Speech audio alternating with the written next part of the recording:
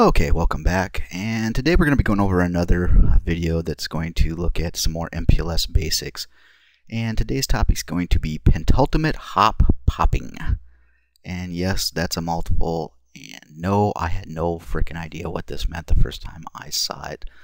Um, before we get into a definition of pentultimate hop popping, let's go ahead and do a quick review of how an MPLS enabled router determines what outgoing interface to use for a packet that receives.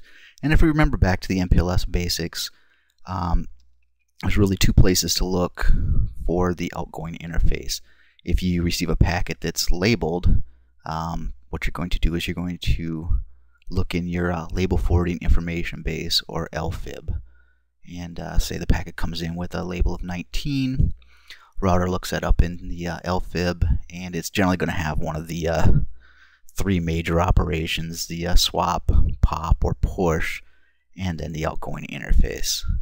Now, uh, if you receive a packet that is untagged slash unlabeled, it's not going to go to the LFIB because there's no reason, because it doesn't have a label. So what it's going to do is it's going to do a normal routing lookup, and it's going to go ahead and look at the routing table or the CEF table. And actually, since um, enabling CEF is a prerequisite of running MPLS, and we're talking about LPN, MPLS enabled routers, it's actually going to go to the CEF table. So it's going to get an IP packet, say, for, you know, 10.10.10 slash 0 I'm sorry, slash 24. And it's going to say, how do I route this? And it goes to the CEF table. It says, go ahead and send that out Ethernet 0, let's say.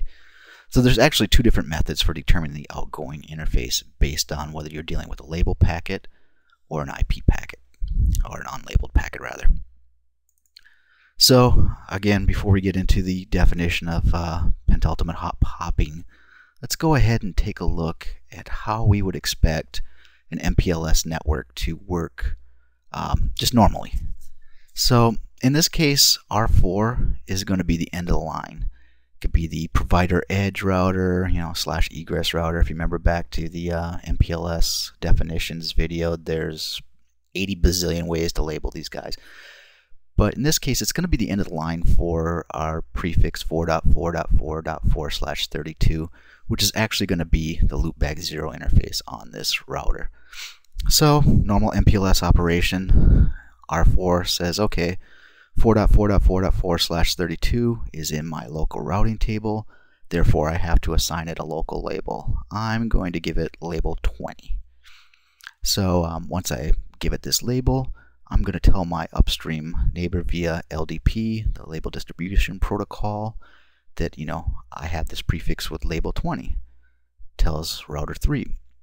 And router 3 has already learned this prefix uh, via IGP, you know, EIGRP, OSPF, whatever you're running. And it's already gone ahead and said, hey, you know, same step.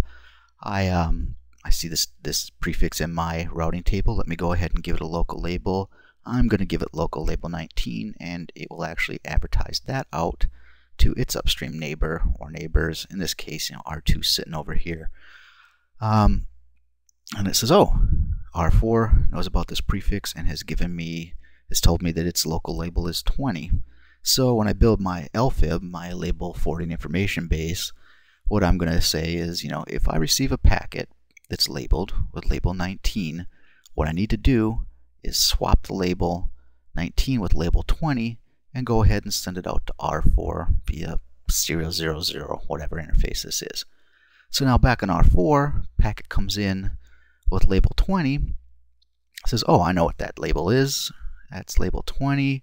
What I do with that, because this is the end of the line, I don't have anything, anybody else that's giving me any labels for this um, that's directly connected. So what I do is I'm going to go ahead and pop this label. So I've got this packet, I pop off label 20, sweet. But now I've got a packet with no label on it. So if we go back and review, label packet, look it up in the LFIB. Unlabeled packet, go ahead and look it up in the CEF table. So R4 is actually going to do a second lookup on this to get the routing. So it's going to say, you know, untagged, send me to the uh, CEF table. CEF table says, yeah, I know that guy. That's your uh, that's your loopback zero interface. Let me go ahead and send this out to it. So basically, the takeaway here is that, you know, as we would imagine normal MPLS working, this last hop router is going to have to do two lookups. It's going to have to do a lookup in its LFIB and then look up in its um, routing table. It's actually going to do both of these these operations. And you know, in a normal network, you know, or a small network, I should say, that's not a big deal. You know, it's an extra step. But if this guy, this R4, is a provider edge router sitting on the edge of the internet with 300,000 routes, you're gonna want to make that uh, operation a little more efficient. Probably not do two lookups if you can only do one. So, um, how do we go ahead and get rid of one of these lookups?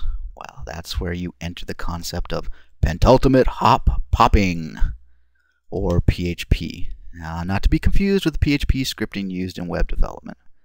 Now, this is hands down my favorite technical term. I mean, you look at that pentultimate hop popping, it's like, wow, that's a wordy motherfucker right there.